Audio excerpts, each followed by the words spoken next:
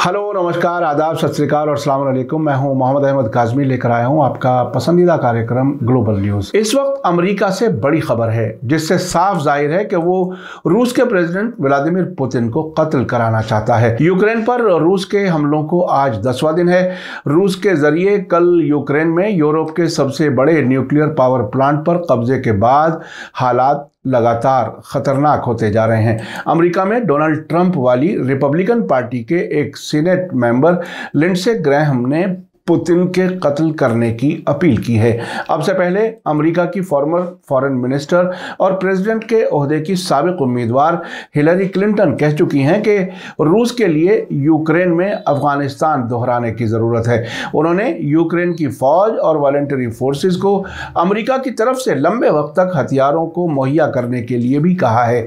दूसरी तरफ़ रूस के पार्लियामेंट स्पीकर ने कल शाम दावा किया था कि यूक्रेन के प्रेसिडेंट वोलोदिमिर जेलेंस्की जेलेंस्की ने मुल्क से फरार होकर पोलैंड में पनाह ले ली है। हालाँकि उसके बाद जेलेंस्की ने वर्चुअल तरीके से उनके मुताबिक कीव में रहते हुए मीडिया के साथ इंटरेक्शन किया है। अब अमेरिका में साउथ कोरोना से सीनेटर लिंडसे ग्रहम का कहना है कि कितना अच्छा होता अगर कोई पुतिन का कत्ल कर देता। फॉक्स न्यूज़ से बात करते हुए उन्होंने यूक्रेन क्राइसिस का ज़िक्र करते हुए कहा कि जब तक पुतिन का कत्ल नहीं हो जाता, उस वक्त तक यूक्रेन जंग खत्म नहीं होगी। उनका कहना है कि इस जंग के खात्मे का सिर्फ़ एक ही रास्ता है कि व्लादिमिर पुतिन का कत्ल कर दिया जाए। उन्होंने कहा कि अगर ऐसा किया गया तो ये रूस और पूरी दुनिया के लिए एक बहुत बड़ी खिदमत होगी। होगी। सीनेटर लिंडसे ग्रहम के मुताबिक इस काम के लिए किसी को तो आगे आना होगा। ग्रहम कहते हैं कि रूस के लोग ही इसे अंजाम दे सकते हैं। अपने ट्वीट में उन्होंने कहा है कि अगर आप लोग अपनी ज़िंदगी को अंधेरे में नहीं देखना चाहते हैं और गरीबी से खुद को दूर रखने के ख्वाहिशमंद हैं तो आप में से ही किसी को ये कदम उठाना होगा। इस सिलसिले में अमरीकी सीनेटर ने हिस्ट्री यानी इतिहास से मिसाल देते हुए पूछा है कि क्या रूस में ब्रुट्स है या रूसी फौज में कोई कर्नल स्टफेनबर्ग है? रिपब्लिकन सीनेटर लिंडसे ग्राहम ने आगे कहा कि मौजूदा जंग को ख़त्म करने का सिर्फ़ यही अकेला रास्ता है। आपको बता दूँ कि मार्क्स जूनियस ब्रुट्स रूस का एक बहुत जाना माना पॉलिटिकल स्पीकर था, जिसे जूलियस सीजर के कातिलों में समझा जाता है। इसी तरह क्लॉस वॉन स्टाफेनबर्ग ने 1944 में जर्मनी में अडोल्फ हिटलर की नाकाम कत्ल की कोशिश की थी।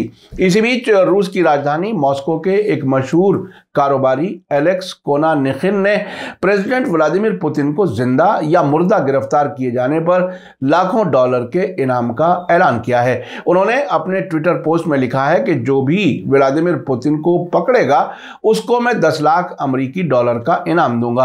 आपको बता दूँ कि रूस के ताजिर एलेक्स कोनो निखिन ने उन्नीस सौ बानवे में मुल्क छोड़ दिया था और अब वे अमरीका में रहते हैं। उधर कल शाम रूस की पार्लियामेंट ड्यूमा के स्पीकर वेयाचिस्लाव वोलोदिन ने बताया है कि यूक्रेन के प्रेसिडेंट वोलोदिमिर जेलेंस्की ने मुल्क से फरार होकर पोलैंड में पनाह ले ली है। वोलोदिन का कहना है कि जेलेंस्की की तरफ़ से जितने भी वीडियो मीडिया में दिए जाते हैं, वे पहले से रिकॉर्डेड होते हैं। इससे पहले अमेरिका समेत कुछ वेस्टर्न मुल्कों ने ये बात कही थी कि वे अपने यहाँ यूक्रेन के प्रेसिडेंट को पनाह देने के लिए तैयार हैं। उनका यह भी कहना था कि जेलेंस्की दूसरे मुल्क में रहकर भी अपनी सरकार चला सकते हैं। इसी बीच कल फ्राइडे को लंदन से छपने वाले टाइम्स अखबार ने रिपोर्ट दी है कि यूक्रेन के प्रेसिडेंट जेलेंस्की पर अब तक कम से कम तीन बार जानलेवा हमले हो चुके हैं, जिनमें उनको कोई नुकसान नहीं पहुँचा है। आपको बता दूँ कि यूक्रेन क्राइसिस की वजह से पिछले एक हफ़्ते के दौरान वहाँ के 12 लाख लोग मुल्क छोड़कर पड़ोसी मुल्कों में पनाह ले चुके हैं। इससे पहले भी रूसी मीडिया में यह दावा किया गया था कि यूक्रेन के प्रेसिडेंट जेलेंस्की मुल्क छोड़कर भाग गए हैं। उसके बाद जेलेंस्की ने एक वीडियो जारी करके कहा था कि वे आखिर तक यूक्रेन को छोड़कर नहीं जाएँगे।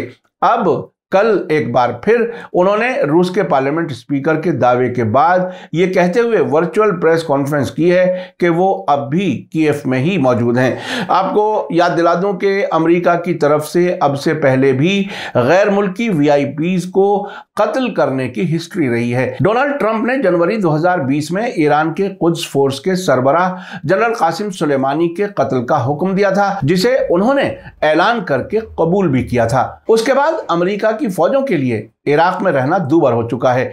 मीडिया स्टार वर्ल्ड लगातार यूक्रेन जंग के बारे में अहम खबरें आप तक पहुँचा रहा है। आखिर में आपको याद दिला दूँ कि अगर आपने अभी तक media star world YouTube channel subscribe नहीं किया तो सब्सक्राइब कर लें और घंटी दबाना ना भूलें। और अगर आप हमें फेसबुक पर देख रहे हैं तो हमारे पेज को लाइक करें ताकि हमारी हर नई वीडियो की खबर आपको सही वक्त पर मिल सके। इसी के साथ मुझे दीजिए इजाज़त। ग्लोबल न्यूज़ का ये एपिसोड आपको कैसा लगा कमेंट्स में ज़रूर लिखें। थैंक यू धन्यवाद, शुक्रिया। जय भारत, जय हिंद।